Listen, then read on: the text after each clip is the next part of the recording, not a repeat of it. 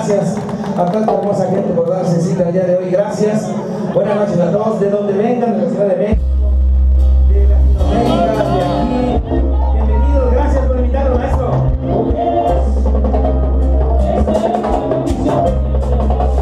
Thank